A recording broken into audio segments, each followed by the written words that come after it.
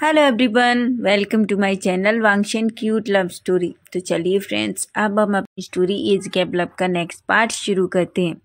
और जो कोई चैनल पर न्यू है, और अगर आपको ये स्टोरी अच्छी लग रही है तो प्लीज़ चैनल को सब्सक्राइब लाइक कमेंट शेयर ज़रूर कीजिए।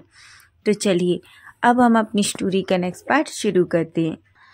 लास्ट पार्ट में हमने देखा था कि वांगजी विंग को लेकर बाहर जाता है, जहाँ वो विंग को लेकर अपनी मोम के हाउस में जाता है। जो सिटी से बाहर एक जंगल के बीच में था। जैसे ही विंग उस हाउस को देखता है तो पूरा शॉक्ड हो जाता है, क्योंकि उसे वो प्लेस बहुत पसंद आता है। स्पेशली विंग को, वहाँ के वो छोटे छोटे क्यूट रेबिट जिन्हें देखकर विंग इतना खुश हो जाता है और विंग को देखकर वांगजी बहुत खुश हो जाता है। थोड़ी देर बाद रेबिट्स के साथ खेलने के बाद वांगजी विंग को अपने घर में अंदर लेके आता है। जिसे देखकर वांग विंग तो पूरी तरीके से शॉक्ड हो जाता है। वो बस चारों तरफ़ उस घर को देख रहा था और उसका मुँह तो फटा का फटा रह जाता है। वो कहता है वाह ये हाउस कितना सुंदर है। तभी वांग जी विंग से कहता है, क्या तुम्हें पसंद आया? विंग कहता है हाँ ये तो बहुत प्यारा है, आपके उस बड़े से मेंशन से भी। वांग जी एक स्माइल करता है। तभी विंग की नज़र उस दीवार पर पड़ती है, जहाँ वांग जी के मोम डैड की फ़ोटो थी। तभी वो वांग जी की तरफ़ देख के कहता है क्या ये आपके मोम डैड हैं? वांग जी विंग की तरफ़ देखता है और स्माइल करके कहता है हम्म, ये मेरे मोम डैड हैं। तभी वांग जी विंग को उसके शोल्डर से पकड़ता है और उसे अपने सामने कर लेता है। तभी वो अपनी मोम डैड की फ़ोटो की तरफ़ देखकर विंग से विंग के लिए कहता है मोम डैड ये विंग है। मेरी से शादी होने वाली है। विंग जब ये सुनता है तो वो बड़ी बड़ी आँखों से वांग जी की तरफ़ देख रहा था। वांग जी अपने मोम डैड से बींग को इंट्रोड्यूस किए जा रहा था। उसके बारे में बातें किए जा रहा था, जिसे देखकर विंग बहुत खुश हो जाता है। एक पल के लिए तो विंग भूल ही चुका था कि थोड़ी देर पहले वो वांग जी के साथ आना भी नहीं चाहता था। उसे एक अलग ही वॉम्थ फील हो रही थी। उसे वांग जी की बातों से बहुत अच्छा लग रहा था। थोड़ी देर वो दोनों ऐसे ही उन फ़ोटोज़ के सामने खड़े रहते हैं। तभी वांग जी विंग का हाथ पकड़ता है। और वहीं पास में रखे सोफों पर दोनों बैठ जाते हैं। भांगजी और विंग साइलेंट थे। दोनों एक दूसरे से कुछ नहीं कह रहे थे, लेकिन चुपचाप बैठे हुए थे। तभी वांगजी विंग की तरफ़ देखता है और विंग से कहता है, विंग विंग वांगजी की तरफ़ देखता है और कहता है हम्म तो वांगजी कहता है, विंग, क्या मैं तुमसे कुछ पूछ सकता हूँ? विंग कहता है हाँ पूछिए। तभी वांगजी कहता है, विंग, मैंने कल देखा था, तुम बहुत अपसेट थे। क्या कोई बात है? विंग तो एकदम शॉक्ड हो जाता है। वो वांगची की तरफ़ देखने लगता है। वांगची कहता है विंग अगर ऐसा कुछ है तो तुम मुझे बता सकते हो। तभी विंग कहता है ऐसा कुछ कुछ भी नहीं है। तभी वांगची कहता है विंग अगर तुम, कुछ भी ऐसी बात है, जो तुम मुझसे कहना चाहते हो तो तुम कह सकते हो। विंग क्या तुम इस रिश्ते से खुश नहीं हो? वांग विंग जब ये सुनता है तो वह अपनी बड़ी बड़ी आँखों से वांगजी की तरफ़ देखने लगता है। उसे सुबह अपने मोम डैड की सारी बातें याद आने लगती हैं। तभी वो वांगजी की तरफ़ तरफ़ बस देखे जा रहा था। तभी वांगजी कहता है, वींग, मैंने कुछ पूछा है। वींग कहता है ऐसा कुछ भी नहीं है, मिस्टर लैन, जैसा आप सोच रहे हैं। तभी वांगजी वींग को कहता है, वींग, मेरी बात सुनो। अगर ऐसा कुछ भी है तो तुम मुझे बता सकते हो। अगर तुम्हारे दिल में कोई भी बात है तो तुम मुझसे खुलकर शेयर कर सकते हो। तुम्हें मुझसे कुछ भी छुपाने की ज़रूरत नहीं है। विंग बस वांगजी को देखे जा रहा था। तभी वांगजी विंग का हाथ पकड़ लेता है और विंग का हाथ पकड़कर उस पर अपना दूसरा हाथ रखते हुए कहता है विंग मेरी बात सुनो। माना हमारी शादी होने वाली है। लेकिन इसका मतलब ये नहीं है कि तुम तुम मुझसे कुछ भी ना कहो। तुम मुझसे कोई भी बात शेयर कर सकते हो। अब भले ही हमारी अभी शादी नहीं हुई, लेकिन तुम्हें पूरा राइट है। अगर तुम्हारे दिल में ऐसी कोई बात है जो तुम मुझसे कहना चाहते हो तो तुम मुझसे कह सकते हो। विंग को तो कुछ भी समझ नहीं आ रहा था। जब वांग जी ने विंग का हाथ पकड़ा था तो उसके दिल की धड़कनें इतनी तेज हो गई थी, बहुत तेज। वो तो बस वांग जी की तरफ़ देखे जा रहा था। तभी वांग जी विंग से कहते हैं विंग हमारी शादी भले ही ना हो, लेकिन क्या हम दोस्त बन सकते हैं? फिर कहता है, क्या क्या तभी वांग जी कहता है हाँ हमारी शादी अभी नहीं हुई है, लेकिन जब तक हम अच्छे दोस्त तो बन सकते हैं ना? तभी वींग वांग जी की तरफ़ बस देखे जा रहा था। तभी वांग जी कहते वींग, क्या तुम मेरे दोस्त बनोगे? वींग एक स्माइल करता है और हम कहता है वांग जी भी एक स्माइल करता है। तभी वहाँ मिस्टर जॉन आ जाते हैं। जॉन जैसे ही वींग और वांगजी को ऐसे देखते हैं तो वो अपना गला साफ़ करते हैं। वांगजी जैसे अंकल जॉन को देखता है, वो विंग का हाथ छोड़ देता है। विंग भी अच्छा ही फील करने लगता है। उसे समझ ही नहीं आ रहा था कि उसे इतना अजीब फील क्यों हो रहा है। वांग जी के हाथ पकड़ने पर उसकी धड़कनें इतनी फास्ट क्यों हो गई थी, उसे कुछ भी समझ नहीं आ रहा था। तभी अंकल जॉन कहते हैं वांगजी बेटा क्या मैं तुम्हारे लिए कुछ खाने को बना दूँ? तभी वांग जी उठता है और कहता है नहीं अंकल मैं खुद ही कुक कर लूँगा। फिर कहता है क्या? आ, आ, आप कु, कु, कु, कुकिंग करोगे? तभी अंकल जॉन कहते हैं क्यों विंग तुम्हें नहीं पता? वांग जी बहुत अच्छा कुक है। तभी विंग कहता है क्या? वांग जी कहता है हाँ मुझे कुकिंग करना आता है। विंग तो बस शॉकिंगली वांग जी की तरफ़ देख रहा था। वांग जी कहता है, ठीक है, अंकल, मैं खुद ही कुक कर लेता हूँ। तब तक आप विंग को पूरा गार्डन दिखा दीजिए। अंकल जॉन कहते हैं, ठीक है बेटा। ऐसा कह के वांगजी किचन की तरफ़ चला जाता है। विंग वांगजी को बस जाते हुए देख रहा था। उधर अंकल जॉन विंग को देखते हैं और एक स्माइल करते हुए कहते हैं, चलो विंग मैं तुम्हें पूरा गार्डन घुमाता हूँ। विंग हूँ कहता है और अंकल जॉन के साथ जाने लगता है। वो विंग अंकल जॉन के साथ पूरा गार्डन देखता है। थोड़ी देर वो रेबिट्स को देखता है और फिर उनके साथ बहुत सारी मस्ती करने लगता है। अंकल जॉन वीन को देख रहे थे। तभी वो वीन के पास आते हैं और उनके, उसके पास बैठ जाते हैं। वो विंग से कहते हैं विंग विंग अंकल जॉन को देखता है और कहता है हाँ हाँ अंकल। तभी विंग अंकल जॉन कहते हैं, तुम जानते हो, भाँग जी कभी भी किसी से अपने दिल की बात कुछ भी शेयर नहीं करता। उसके अंदर क्या चल रहा है? ये कभी कोई नहीं जान सकता। तुम जानते हो, वो चेहरे से जितना कोल्ड दिखता है, वो दिल से उतना ही ज़्यादा अच्छा है। शायद तुम अभी उसे नहीं जानते, लेकिन जिस दिन तुम जान लोगे ना, तुम विंग को, विंग से दूर सॉरी, तुम वांग जी से जाने, दूर जाने के बारे में सोचोगे भी नहीं, पता है? विंग, अंकल जॉन की तरफ़ शॉकिंगली बस देखे जा रहा था। विंग कहता है क्या?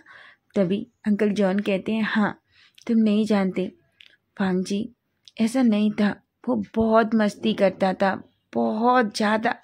लेकिन जब से उसके मोम डैड उसे छोड़ के चले गए, उसके मोम डैड का एक्सीडेंट हो गया, वो दोनों नहीं रहे, तब से वांगची ऐसा हो गया है।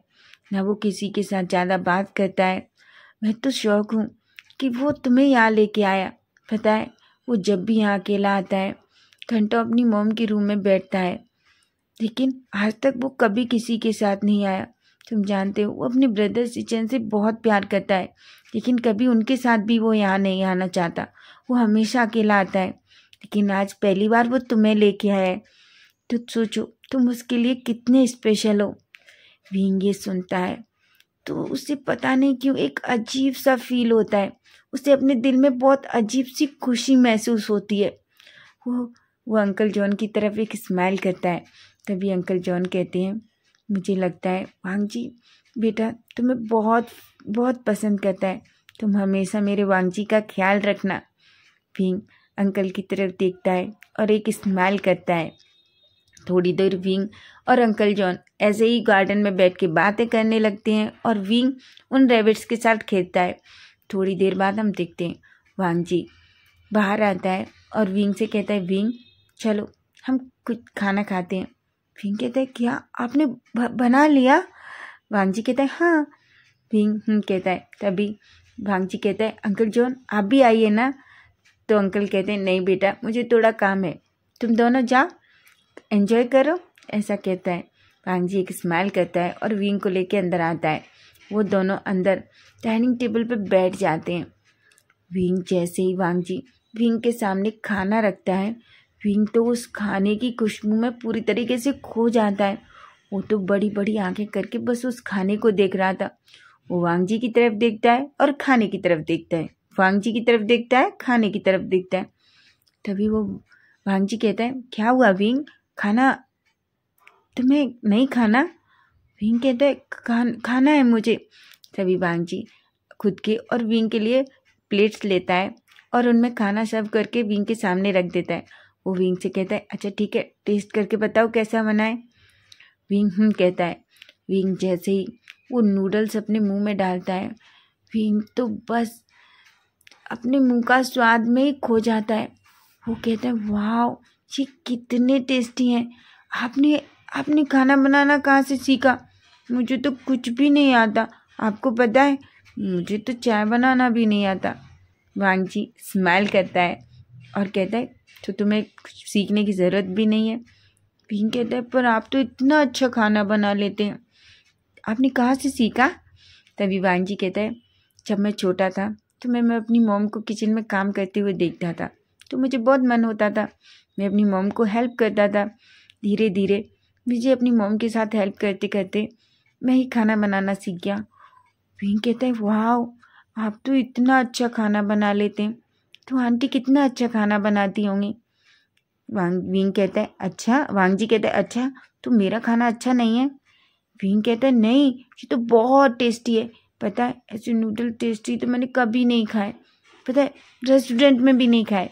वांग जी एक स्माइल करता है और कहता है, ठीक है, अब तुम खाओ। दोनों, वो खाना एंजॉय करने लगते हैं। थोड़ी देर दोनों ऐसे ही खाते हैं। दोनों का जब वो खाना फिनिश हो जाता है, दोनों वहाँ से उठते हैं। वांग जी विंग से कहता है, विंग, अब हमें घर चलना चाहिए। विंग का मन बिल्कुल नहीं था उस घर से बाहर आने का, क्योंकि विंग को पता नहीं क्यों, उस घर में बहुत अजीब सा और अपनापन सा फील हो रहा था। लेकिन वो जानता था कि उन दोनों को वहाँ से जाना है, तभी विंग भी हाँ बोलता है। दोनों वहाँ से निकलते हैं, तभी विंग की नज़र फिर से वांग जी के मोम डैड की फ़ोटो की तरफ़ जाती है। वो उन दोनों को देखता है और उन्हें पता नहीं क्यों वो ग्रीट करता है। वांग जी ये देखता है तो उसके चेहरे पे एक स्माइल आ जाती है। विंग कहता है जानते हैं आपकी मोम बहुत ब्यूटीफुल है। तभी वांग जी कहता है हम्म, इसीलिए मेरे डैड मेरी मोम से बहुत प्यार करते थे। तुम जानते हो मेरे डैड मेरी मोम से इतना प्यार करते थे कि वो उनके बिना एक पल भी नहीं रहते थे। वांग जी के मुँह से ऐसा सुनता है तो वो एक स्माइल करता है। दोनों उस हाउस से बाहर आते हैं अपनी कार में बैठते हैं और वहाँ से जाने लगते हैं। अब इवनिंग हो चुकी थी, तभी वांग जी विंग से कहता है विंग मैं तुम्हारे, तुम्हें तुम्हारे घर ड्रॉप कर देता हूँ। विंग हम कहता है विंग पूरे रास्ते बस वांग जी को ही देखता रहता है। दोनों ज़्यादा बातें तो नहीं करते, लेकिन वांग जी को विंग को पता नहीं क्यों, आज वांग जी के साथ बहुत अच्छा फील हुआ था। उसे बिल्कुल फील ही नहीं हुआ। वांग जी धीरे धीरे विंग के विंग धीरे धीरे वांग जी के चेहरे को देख रहा था।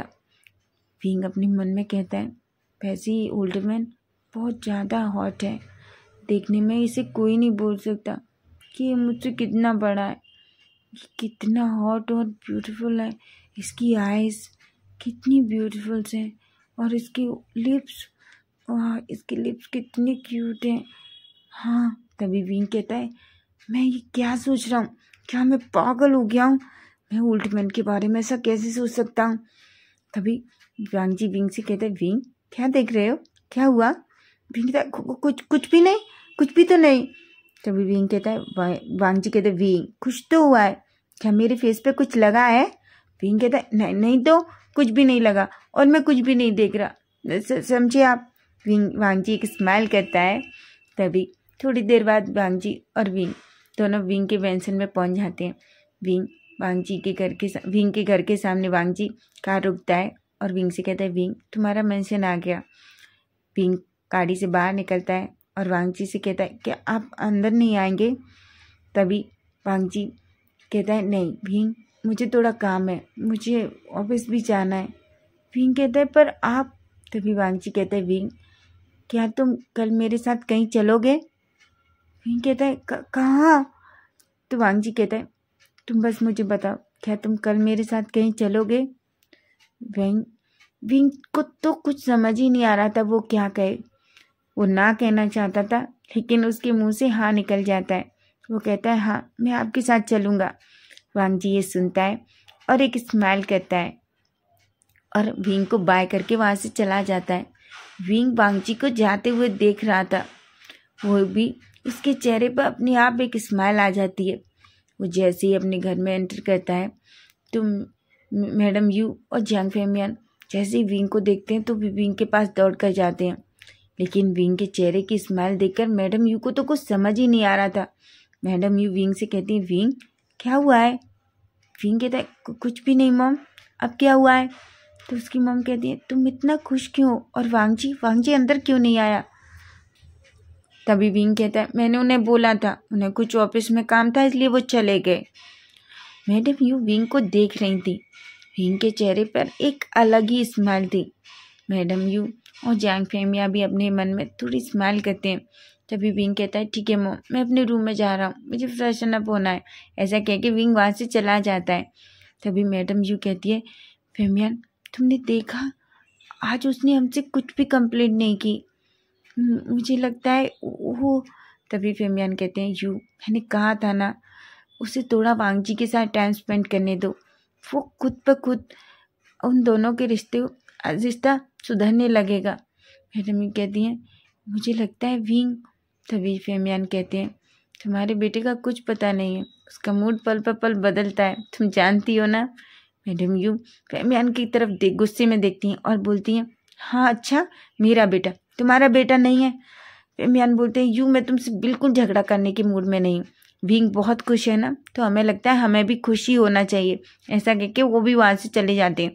मैडम, यू अपने मन में सोचती हैं, ये दोनों बाप बेटे, बस मुझे ही क्यों ऐसा समझते हैं जैसे मैं इन दोनों की दुश्मन हूँ? ऐसा अपने मन में सोचती हैं और वो भी किचन में चली जाती हैं। उधर हम वांग जी को देखते हैं। वांग जी वहाँ से अपने मैंशन में जाता है वो जैसे ही अंदर जाता है तो उसे लिविंग एरिया में सिचन और उसके अंकल मिलते हैं। वांग जी को अंदर जाता देख सिचन दौड़ के वांग जी के पास आते हैं और वांग जी से कहते हैं वांग जी वांग जी अपने ब्रदर की तरफ़ देखता है और हम कहता है। तभी वो अपने अंकल को देखता है और उन्हें ग्रीट करता है। अंकल भी एक स्माइल करके वांग जी से पूछते हैं वांग जी कैसा रहा तुम्हारा? तो विंग वांग जी कुछ भी नहीं कहता। अंकल को समझ में आ जाता है कि लड़का कुछ भी कहने वाला नहीं है। तभी सिचेन वांग जी से कहते हैं वांग जी कैसी रही तुम्हारी डेट? तभी वांग जी कहते ब्रदर डेट? तभी सिचैन कहते हैं क्यों? वो तुम्हारी डेट नहीं थी। तुम आज भी इनके साथ पूरा दिन इतना टाइम स्पेंड किया। कैसा रहा तुम्हारा दिन? तभी वांग जी एक छोटी सी स्माइल के, के कहता है ब्रदर बहुत अच्छा था।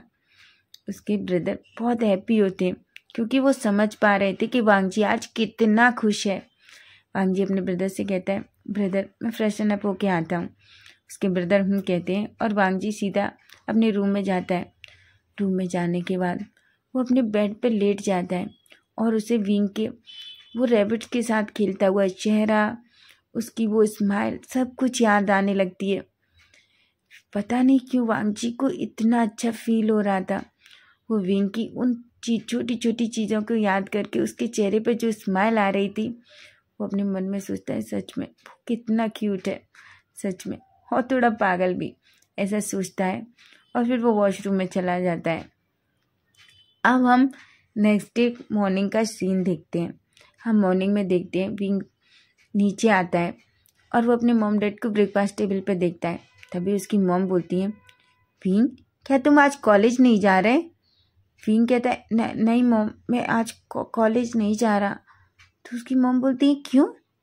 तो तुम तो एक दिन भी कॉलेज मिस करना नहीं चाहते। तभी वो कहता है क्योंकि आज मैं वो, पर वो चुप हो जाता है। तभी उसकी मोम बोलती है विंग, क्या बात है? विंग को बहुत अजीब फील हो रहा था कि वो अपनी मोम से क्या कहे। विंग कुछ भी नहीं कह पा रहा था। तभी विंग कहता है, वो मिस्टर लैन मुझे आज अपने साथ कहीं लेके जाना चाहती है, मोम। मैडम, यू जब ये सुनती हैं तो वो तो बड़ी बड़ी आँखें करके विंग की तरफ़ देखने लगती हैं। वो कहती हैं, क्या? विंग कहती है, मॉम, आप मुझे ऐसे क्यों देख रही हैं? तभी मैडम यू कहती हैं, और तुमने हाँ कर दिया? विंग कहता है हाँ आप ही ने तो कहा था कि मुझे उनके साथ थोड़ा टाइम स्पेंड करना चाहिए। तभी मैडम यू कहती हैं अच्छा। तभी विंग कहता है इसलिए मैंने उनको हाँ कर दिया। मैडम यू एक स्माइल करती हैं। विंग की तरफ़, तभी विंग कहता है, मॉम, आप हंस क्यों रही हैं? मैडम यू कहती है तो क्या मैं हंसूं भी नहीं? विंग कहता है, मॉम, आपका मुझे कुछ समझ नहीं आता। ऐसा कहता है, और वो खुद भी ब्लश करने लगता है। मैडम यू विंग को ब्लश करते हुए देखकर तो पूरी तरीके से शॉक्ड हो जाती हैं। तो फ्रेंड्स नेक्स्ट पार्ट हम कल देखेंगे, और मुझे कमेंट करके ज़रूर बताइए कि आपको क्या लगता है? वांगजी विंग को कहाँ लेके जाने वाला है? और आखिर विंग और अगर आपको स्टोरी अच्छी लगे तो प्लीज़ चैनल को लाइक सब्सक्राइब कमेंट शेयर करके ज़रूर जाइएगा। Bye bye take take care